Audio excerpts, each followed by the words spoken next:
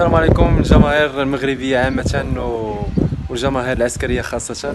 كنتمنى لكم التوفيق في الحياة ديالكم وكنقول لكم رمضان مبارك سعيد.